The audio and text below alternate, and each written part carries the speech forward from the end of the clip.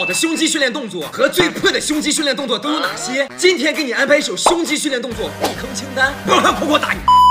咱们先说最破的，第一个破俯卧撑。俯卧撑局限性太大，想通过只在家只做俯卧撑练出又大又饱满胸肌的哥们儿，你就想想吧啊。第二个破哑铃子单侧夹胸，这个动作极其不稳定，且运动轨迹很刁钻，非常需要一定训练基础，所以很难找到感觉。第三个仰卧破哑铃子上提，我愿称之为肩膀终结者。百分之九十九的哥们儿练这个动作都是胸一点感觉都没有，肩膀特别疼。第四个站姿破绳索的推胸或夹胸，站姿很难控制躯干稳定，最后的结果就是胸没感觉，刺激也一般。接下来我们说最好的，第一个破双杠臂屈伸，练下胸胸外沿的王牌动作，必须含胸，身体必须前倾，不听话打你，然后胳膊肘必须向两边打开，不打开我打你。第二个